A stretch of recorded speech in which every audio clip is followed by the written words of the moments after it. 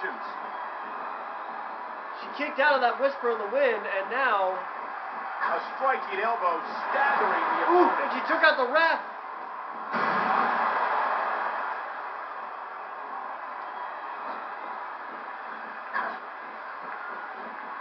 A vicious blow to the opponent.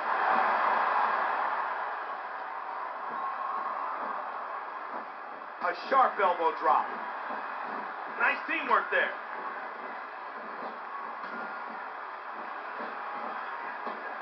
He sees his chance. He's going for it. A stiff shot to the elbow. And Oh, there's the nice count. reversal. There's the cover. One. That was like two and a half.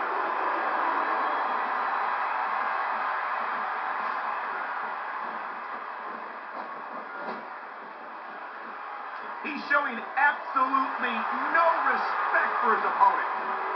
There's the bulldog. What a crushing leg drop. What a nasty elbow. What a kick that was. This is it. Here he goes. The kick connects. And he whips her into that A armbar. jaw-jacking punch. One. There's the pin. Can his opponent kick out? Oh, man. I can't believe that wasn't three. One. A swift kick to the opponent.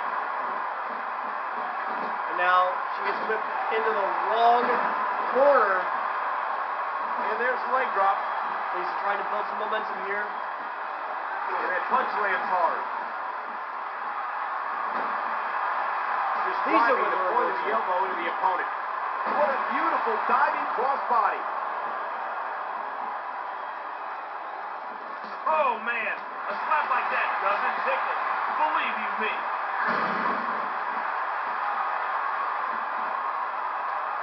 Look at this. Oh, assassination there from Melissa. Oh my, just bursting those capillaries in his chest. Two.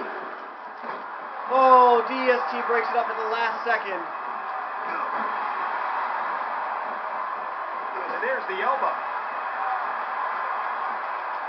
DDT. DDT with more than one impact. The tag is made. As Commander Draycon tags in DEST3 to finish this off. stomp. Possibly. We'll have to find out. Another forward power slam there. There's a superstar with guts. These top rope moves are risky.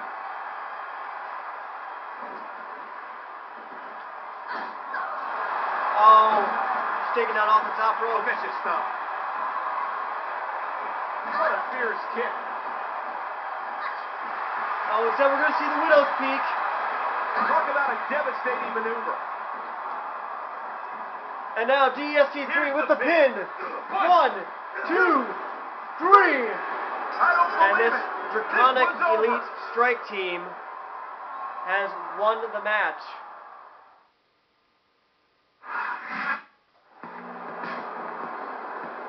A couple of questions were answered today, Here are your but still some left unanswered.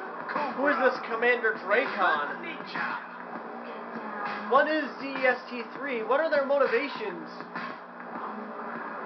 Are they really here to end the Mercs? Are they really here to change the MMWF forever? We might find out more next week, but this win is definitely going to help their agenda and hurt the Mercs. We got more tournament action coming up next, so stay tuned.